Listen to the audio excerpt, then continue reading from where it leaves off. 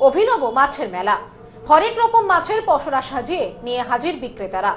পয়লা মাঘে এই মাছের মেলা ঘিরে রয়েছে অজানা কাহিনী। রুই কাতলা থেকে শুরু করে ভেটকি ভোলা। পয়লা মাঘে জমজমাট মাছের মেলা। হুগলি জেলার ব্যান্ডেলের দেবানন্দপুরের এই অভিনব মাছের মেলায় ভিড় জমিয়েছেন মাছপ্রেমীরা।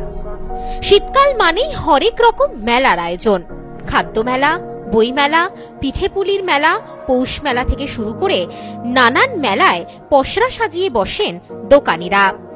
হুগলি জেলার ব্যান্ডেলের দেবানন্দপুরের এই কেষ্টপুরে মাছের মেলায় বিভিন্ন রকমের মাছ সাজিয়ে বসেছেন বিক্রেতারা। হ্যাঁ ঠিক শুনছেন, মাছের মেলা। যেখানে চুনোপুটি থেকে শুরু করে রুই কাতলা, ইলিশ ভেটকি, ভোলা চিংড়ি, পাবদা আরও নানান ধরনের মাছের পসরা সাজিয়ে বসেছেন দোকানিরা। জানা যায়, প্রতি বছর পয়লা মাঘে হুগলি জেলার দেবানন্দপুরের এই কেষ্টপুরের মাছের মেলায় আয়োজন হয়। রুই, কাতলা, পাবদা, ইলিশ, চিংড়ি, ভোলা, ভেটকি, বোয়াল আর মাছ পুটি, চিতল, বেলে সব মিলিয়ে হরেক রকমের মাছ থাকে এই মেলায়। এই একদিনের মেলাকে কেন্দ্র করেই বিভিন্ন পসরা সাজিয়ে নিয়ে বসে দোকানিরা।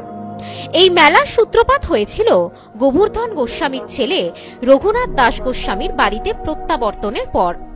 চৈতন্য মহাপ্রভুর অন্যতম শিষ্য রঘুনাথ দাস গোস্বামী। ওই এলাকার জমিদার ছিলেন গোবর্ধন গোস্বামী। তারই ছেলে রঘুনাথ সংসার ত্যাগ করেন, সন্ন্যাস নেবে বলে। জানা যায়, তিনি চৈতন্যের পরিষদ নিত্যানন্দের কাছে দীক্ষা নেওয়ার জন্য গিয়েছিলেন পানিহাটিতে। সেই সময় তার বয়স ছিল মাত্র পনেরো বছর। তাই তাকে দীক্ষা দেওয়া হয়নি। তবে তাকে ভক্তির পরীক্ষা নিয়ে বাড়ি ফিরে যেতে বলেন নিত্যানন্দ। দীর্ঘ নয় মাস পর বাড়ি ফেরেন তিনি। সেই আনন্দে তার বাবা গোবর্ধন গোস্বামী গ্রামের মানুষকে খাওয়ানোর সিদ্ধান্ত নেন। গ্রামের মানুষজন তার ভক্তির পরীক্ষা নেওয়ার জন্য কাঁচা আমের ঝোল ও ইলিশ মাছ খাওয়ার আবদার করেন। তিনি ভক্তদের জানিয়েছিলেন, বাড়ির পাশের আম গাছ থেকে জোড়া আম পেরে আনতে এবং পাশের জলাশয়ে জাল ফেলতে। সেই মোতাবেক জাল ফেলতেই পাওয়া গিয়েছিল জোড়া ইলিশ। আম আনতেই অবাক হয়ে যান গ্রামের মানুষ। জানা যায়, এরপর থেকেই প্রতি বছর ভক্তেরা রাধা গোবিন্দ মন্দিরে পুজো দেওয়ার পাশাপাশি মাছের মেলার আয়োজন করেন। সেই থেকেই পয়লা মাঘ উত্তরায়ণ মেলা চলে আসছে। বহু দূর দূরান্ত থেকে বহু মাছ ব্যবসায়ী নদী পুকুর ছাড়াও বিভিন্ন সামুদ্রিক মাছের পসরা নিয়ে বসেন। হুগলি ছাড়াও বর্ধমান, হাওড়া, নদিয়া, উত্তর চব্বিশ পরগনা, বাঁকুড়া থেকেও মানুষ এই মেলায় আসেন। তোমার এই মহাপ্রভু এত কিছু বলে থাকে এই অসময়তে আমরা একটু আমের কোথায় পাওয়া যাবে প্রভু ইচ্ছে করে তাই হবে। রঘুনাথ দাস হোসেন ত্রিপাঠীর দক্ষিণ দিকে একটা জোড়া আম গাছ ছিল অসময়ে সেখানে এক জোড়া আম পাওয়া গেছে। আবার ওদের একটা বায়না ছিল যে এই সময়তে আমরা নদীতে সেই সঙ্গে জাল দিয়ে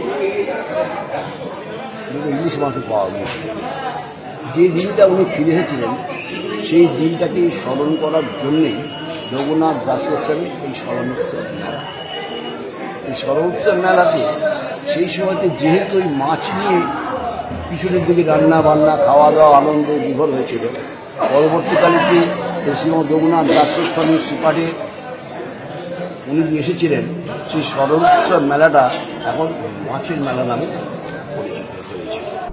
পাঁচশো টাকা থেকে প্রায় দেড় হাজার টাকা কেজি দরে মাছ বিক্রি হয় এখানে। শুধু মাছ কিনেই নিয়ে যান না সাধারণ মানুষ। অনেকেই আবার পাশের আমবাগানে মাছ ভেজে পিকনিকেরও আয়োজন করেন। এই বিষয়ে এক মাছ বিক্রেতা জানান, আমরা সারা বছরই এই মেলার জন্য অপেক্ষা করি। রুই, কাতলা থেকে শুরু করে চিতল, বোয়াল মাছ, সমস্ত ধরনের মাছই পাওয়া যায় এই মেলায়। তবে প্রতি বছরের তুলনায় এবছরে মাছের আমদানি অনেকটাই বেশি। অরিজিনাল ভেটকি আছে, ভোলা ভেটকি আছে মানে কুশি ভেটকি আছে, আরও একটা আছে, বড় একটা বাঘারা আর্মেন্ট মাছ নিয়ে এসেছি। আমরা প্রতি বছর দাদা আসি। আর আমরা এসেছি ব্যান্ডেল বাজার থেকে। এই এখানে আমরা বাবারা দোকান কাকারা দোকানদারি করে গেছে। আমরা এখন দোকানদারি করছি। সবাই মিলে বছর রেকর্ড কি মাছ রেকর্ড একটা নিয়ে এসেছি বড় বাগান তার ওজনে চৌত্রিশ কেজি মাছ। কত টাকা কেজি বিক্রি হচ্ছে? ওটা বিক্রি হচ্ছে সাতশো টাকা কেজি মাত্র। মাথা বাদ দিয়ে শুধু মাছ পাওয়া যায়। লাভ হয় একদিনের মেলায়? হ্যাঁ লাভ হয় কেন লাভ হবে? কি কি মাছ আছে আপনাদের? আমাদের রুই কাতলা ভেটকি ইলিশ কুরজালি আরও বিভিন্ন রকম মাছ আছে। অভিনব এই মাছের মেলাকে কেন্দ্র করে শুধু স্থানীয় বাসিন্দারাই নয় বহু দূর দূরান্ত থেকে আসা মানুষেরা সামিল হয়েছেন এই মাছ মেলায়। Rajesh দেবনাথের report news no man's land Hooghly. New PC jewellers সম্পর্ক গড়ে দেয়। বনগাঁতে আমাদের তিনটি শোরুম প্রতিদিনই খোলা। নিউ পিসি জুয়েলার্স বনগা বাটার মোড়। নিউ পিসি জুয়েলার্স ব্রাঞ্চ কুমদিন স্কুলের বিপরীতে। New PC jewellers beauty Motiganj Hatkhola.